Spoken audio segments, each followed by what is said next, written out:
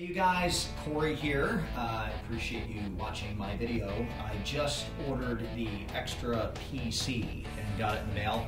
The XtraPC is like a little USB um, thumb drive looking thing that you stick inside of an old slow laptop and it's supposed to bring it back to life.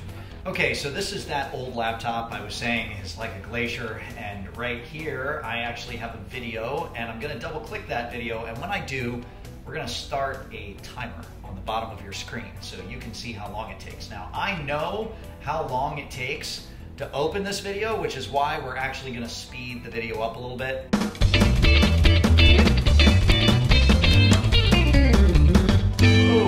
And there's the video.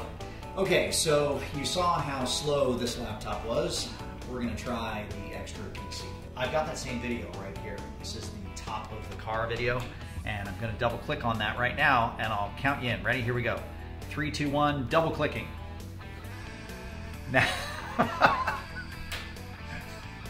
all right. Now that I didn't expect, all right? That was fast. That was really fast. So yeah, if you have a desktop computer, a laptop, you don't want to go out spend the money on getting a new one. It's a big investment, right? Get XtraPC home.